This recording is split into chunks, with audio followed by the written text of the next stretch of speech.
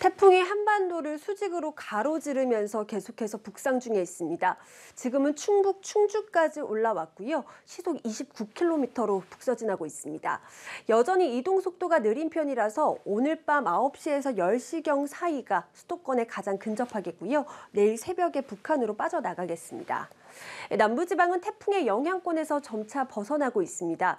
남쪽 해상과 남쪽 내륙에 내려져 있던 태풍특보는 일부가 해제가 됐고요.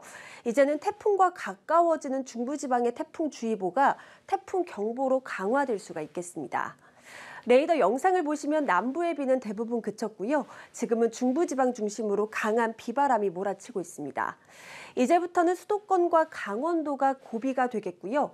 곳곳에 시간당 30mm, 또 영동 지역은 60mm에 달하는 폭우가 쏟아지겠습니다. 동시에 초속 30m 안팎의 돌풍까지 불 텐데요. 밤이 되면서 시야까지 어둡기 때문에 안전에 더욱더 유의하셔야겠습니다.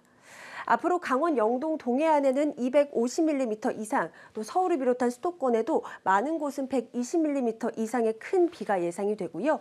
충청도에도 최대 80mm의 비가 더 내리겠습니다. 내일 태풍이 완전히 물러나기 전까지 해상에서도 계속해서 주의가 필요하겠습니다. 내일도 바다의 물결은 최고 7m까지 거세지겠습니다.